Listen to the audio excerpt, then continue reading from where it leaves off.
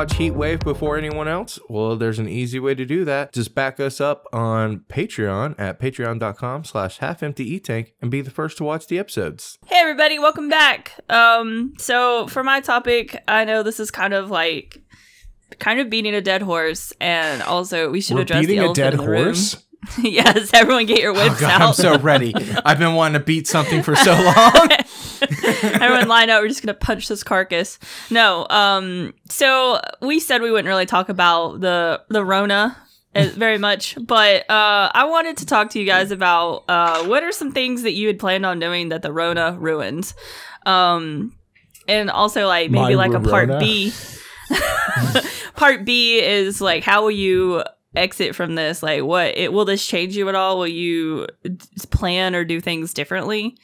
Um, so I'll go first. yeah, go ahead. Um, Michelle and I had planned earlier or later this year. It was going to be in like July. We were supposed to do like a two week trip, uh, where we visited a bunch of national uh, parks and monuments out west. And it was going to be really awesome. It was going to be like partially a camping trip. We were going to be on a tour bus with with some other people. We were going to cook our own food and hike and explore the west because I haven't really ever been out west. And I've been planning this trip for like seven years, but we were just now financially stable enough to actually afford it. And we were I paid the deposit at Christmas, and I was like, yeah, we're gonna do it this year. And then this fucking happened. And even though it's in July, I'm pretty sure that we're just not gonna go um because even if this clears up by july i don't think work is gonna be Mm-mm. cool with giving us uh Two two weeks weeks, off. off. since we've had like uh two months off basically Yeah. um so that's one thing that definitely has been ruined like a big thing that's been ruined i mean i'm not i don't want to be too complaining about it because obviously it's either like don't go on your trip or die so I would rather live, but uh, that's just one thing that I'm kind of like grumble grumble about. And I think like moving forward, um, I'm gonna try and just like do things like I have this weird excuse of like I can't do this thing right now. I have to wait until all these other things line up perfectly, and they never do. Yeah. Um, I think going forward, I'm gonna try to just do the fucking thing that I want to do and stop making excuses. Mm. So Brittany and I are both in that area because uh, that's actually um, we have like a bunch of little trips planned now for Yeah. after uh quarantine ends and Mhm. whatnot and Yeah. um like they're still uh, they're Well- still going out west they're just like little little trips instead of a two week trip Yeah, Right. it'll maybe be like a longer weekend. Like yeah yeah I've never been to the Pacific Northwest. Um, so we're planning on taking like an extended weekend and going and visiting like Portland and Seattle. hmm And we have friends in both places. Yeah. So we're gonna probably stay we're there just and gonna save visit. some money We're just gonna visit some friends and say fuck it. Like let's just do it. yeah Hell yeah. Yeah. Like, there's- I, I think that's good and reasonable. Uh, was- traveling means a lot No. to us and we've just never done it Yeah. traveling theoretically means a lot to you. well we've done what we've done of it has meant a great deal to us Yeah. You've got that live, laugh, love uh, wall hanging, just waiting for you to like hit the tin city uh, threshold. Yes. Exactly. Yeah, so that you can level up and get the merit badge. Mm-hmm. I understand. I was, That was- supposed to officiate a wedding in early April. Oh yeah i forgot about that and because of COVID 19, um, haven't been able to. Uh, they went ahead and got like courtroom married. Uh, and I, I'm not sure. They might be doing uh, another thing later to just like have a party or whatever. Party. Yeah. Yeah. So that was that was kind of frustrating because I was like, Did you already get your like efficient license or whatever it is that you're I to so get? I was working on that when it I was working on that and writing my speech when Mm-hmm. the lockdown started. Um yeah, so I didn't like go the full route. I might still do it, just maybe I Just for I, fun. I want to do the math and see how much it would cost me to become uh like a legal officiant in every single state in the United States. perfect, perfect. Just so you can like do it anywhere you need to be. It needs to get done. Mm-hmm. Yeah, I like so it. that I I, like can sell like of a a team style service where I just hot drop into a city, marry some people, Yeah, and then yeah. bounce. You can just put your ad on Craigslist for like services. That's a, that's a dream I can get behind. I'll put it under romantic services. yes. Ro- romantic services. Oh my god. How about you, Hutch? What's uh what's Was- something that you uh had to not be able to do? I all I can think of aside from like some shows, um, Mhm. like uh, uh, I wanted to see Lindsey Stirling. I think her thing is still canceled, or I think it might still technically be going on. I think it's in July Mhm. or something like that. yeah, I think that's in July too. Yeah, but uh, her tickets are expensive, so I don't think I would have gone to see that solo. But um, Hmm. what else? Uh, I was contemplating going to Magstock, um, Mm. which I guess may still be on later on in the year potentially. It's been postponed Yeah. to August. Yeah, we're thinking August is when they're trying to push it to. Mm. Um, There's also a side thing for that, Hutch, that I think you'll appreciate even more.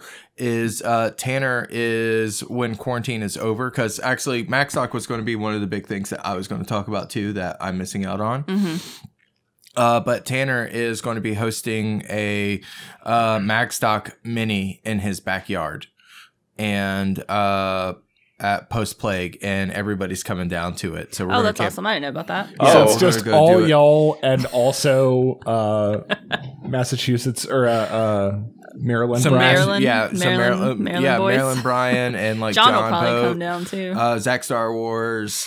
well, um, I'll be sure to shit in the middle of uh, Tanner's bathroom just on the floor so that it will feel like real Magstock. Oh man, I can't wait. And I'll Meek is gonna sit love this. naked in a chair with 20 year old scotch. yeah, we'll just get real I don't. weird. I don't see. I don't see the problem. He did just uh, build a brand new fence, so he's got a lot more privacy. yeah, he's got that big privacy fence now. So Oh, that's good. perfect. and but he's also got a a really high powered water gun. Perfect for the We slip can and have slide. as much lube there as we want to. Nobody can tell me what to do. We should get an industrial barrel of uh, like that powdered lube. Oh yeah, the five it's like a pounds. thousand dollars. And We it's an do investment A, we in could our do a future. GoFundMe. Buy one. we could do a GoFundMe. You got Gotta keep it rest of your and slippery. I wonder if the Amazon payments are on it now. we could probably like if we do a GoFundMe, we can mail people like envelopes full of powdered lube. like I'm sure that's a great way for, to get the FBI to look into us. thank you for your contribution. Here is your piece of the pie. Just add water. yeah, it's like uh, uh, Massdrop, but it's just powdered lube in Ziploc bags. I think we should do this. that should be part of our OnlyFans. if we kinda reach wanna- this level, we'll send all of you powdered lube. Yeah, if we make more than three thousand dollars a month, which is, I imagine, Mm-hmm. what it would cost us to send anybody, like one to purchase, repackage, and send out that much lube. Mm-hmm. Yeah. I think we should do it. we'll do it. I think I've created a monster. Yeah, you have. I'm very excited for this. So what else? Hutch? What else greasy did you want to do? Sorry, I didn't mean it. Sorry, Hutch.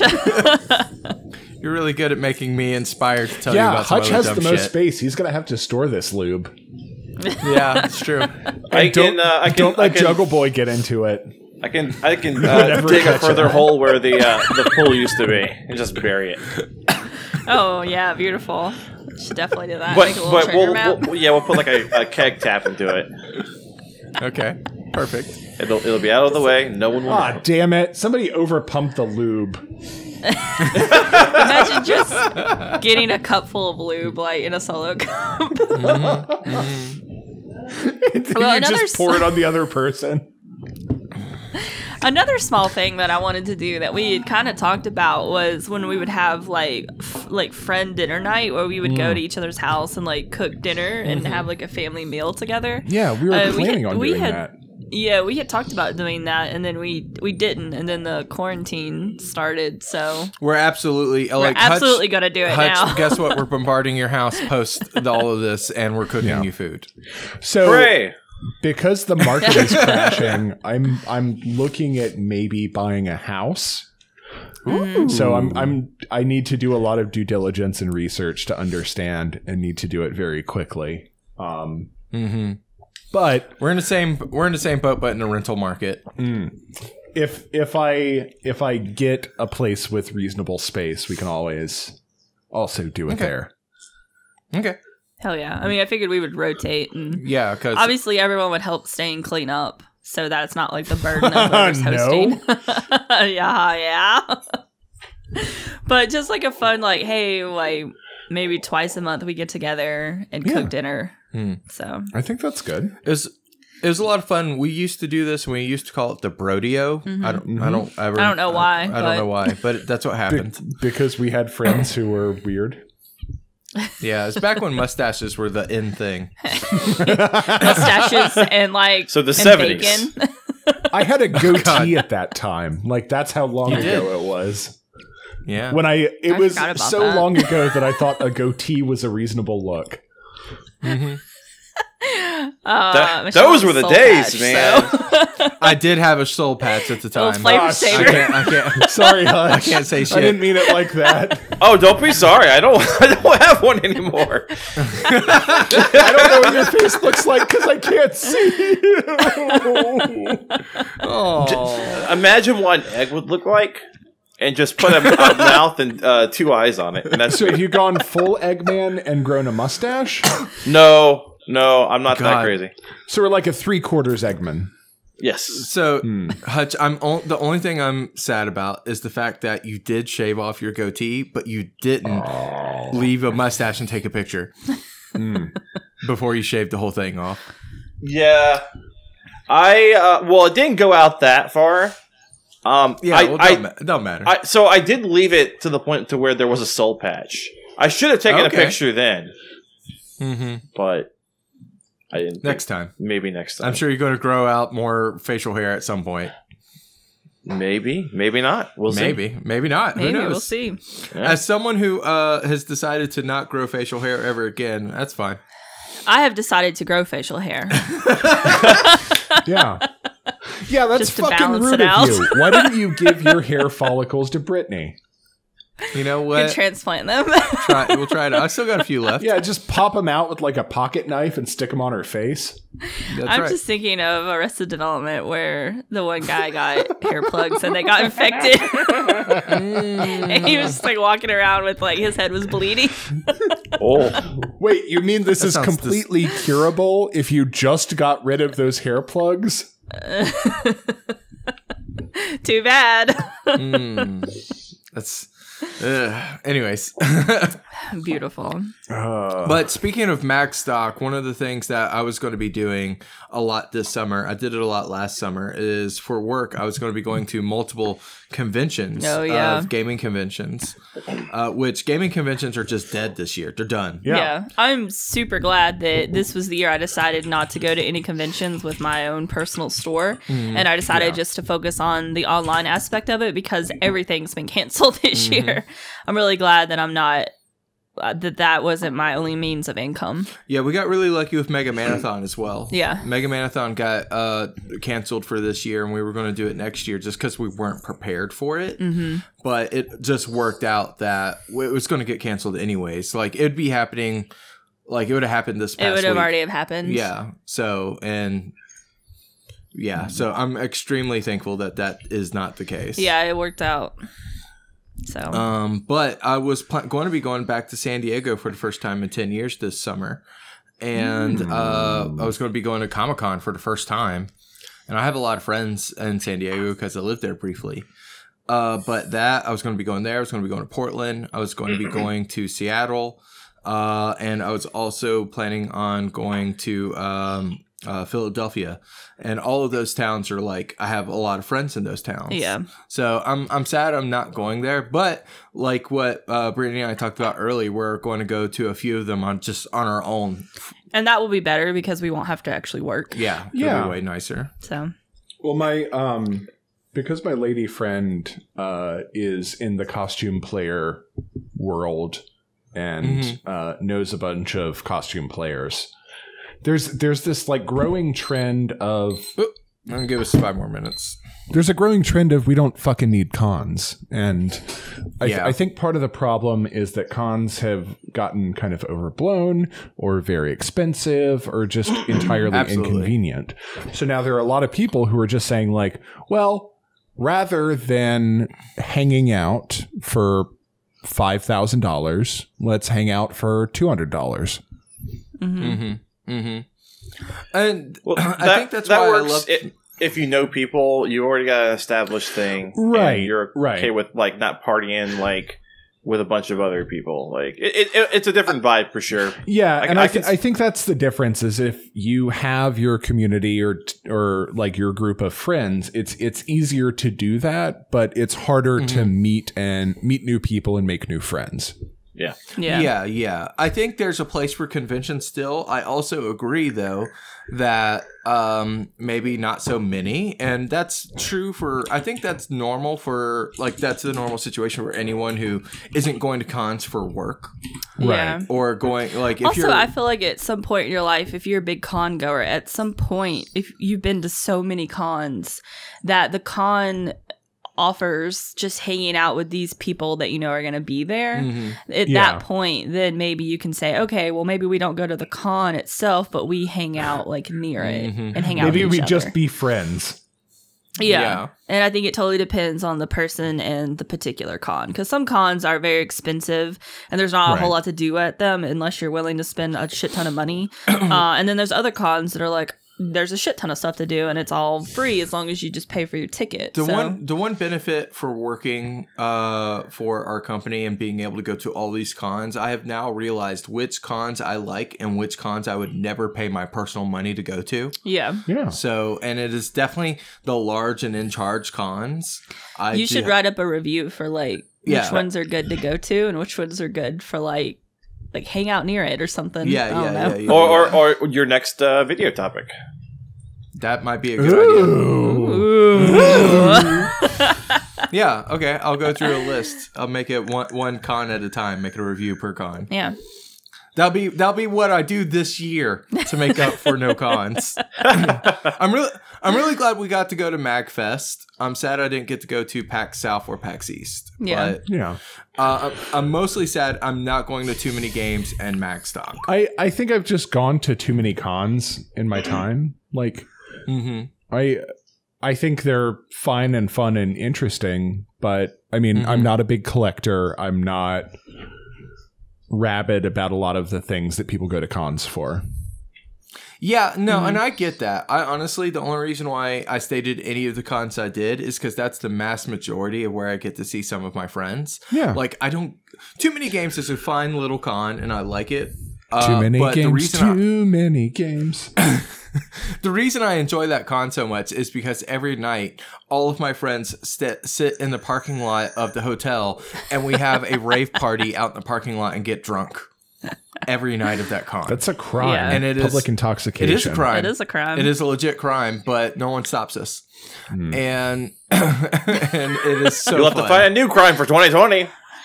yeah, we're we're actually thinking about hosting a um, Discord exclusive LotCon this year. Thinking about hosting a crime. Call it LotCon colon digital. Digital LotCon.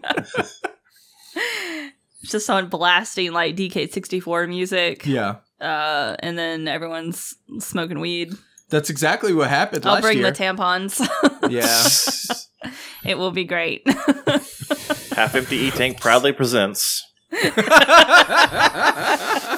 a crime. A crime experience. It's got to be multimedia. It's got to be 3D, and it's got to be live streamed. And probably love it. I blockchain needs so to be involved just to hit all of Somehow. the right keywords. yeah. oh man, yes, we want to make sure we get that corporate uh, attention in there. Yes. Mm.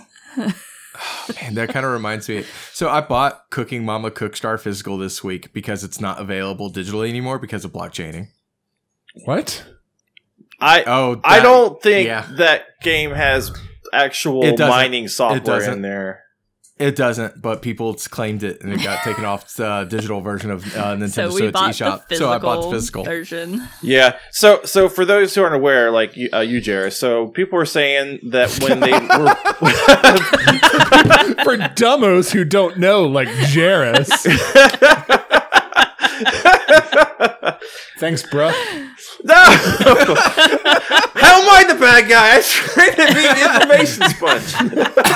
You're always, somehow Jairus always turns Hutch into the bad guy. I don't know how this happens, but it That's always the happens. fun because you're such a nice boy. I should grow a mustache and just start twirling it. Evil Hutch. Yes. My god, please. Well, let me tell you about this, eh? Yeah, but yeah, so people were saying playing that game, this their Switch like gets really hot and the fan runs in, insanely uh, high, and so they're like, "Oh, it's, it's running blockchain software or, or or data or Bitcoin mining shit or whatever on it."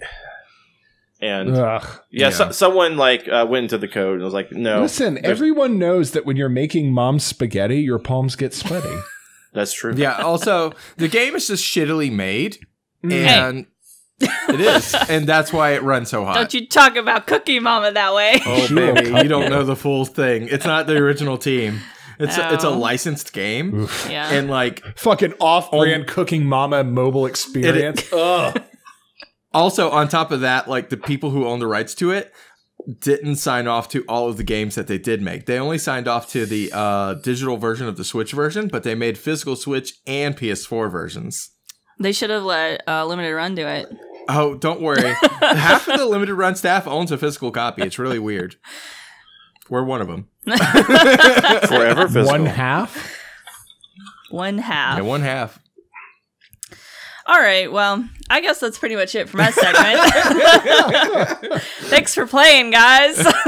Wait, we what win? were we talking about time. again? We were talking about what are the things that the Rona ruined for us, and how will we live our lives differently afterwards. Oh. That's right. That was so long ago. yeah, it really was. Bye, everybody. Bye. Bye.